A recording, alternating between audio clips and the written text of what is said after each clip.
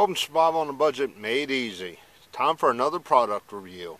This time I'm doing the Harbor Freight folding saw. Or pruning saw, whatever you want to call it. I'll have a link to that down in the description box with my uh, link to my playlist for my product reviews. I've had this one for about, I want to say, six months to a year. I mean, it's great for folding up, carrying your backpack, if you're into camping, bushcrafting, whatever. It's also great for around the house. It does work, and it works rather well.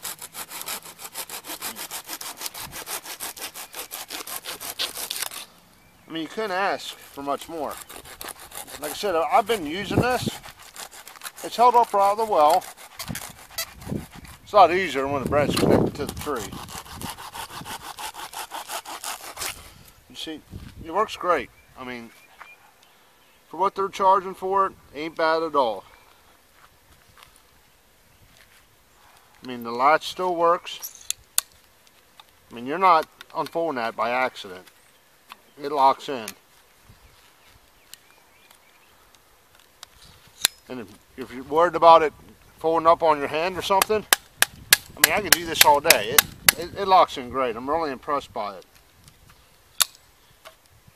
So if you're looking for a nice folding saw for around the house or bushcraft or camping or whatnot, I'd definitely give this a look. As always, thanks for watching.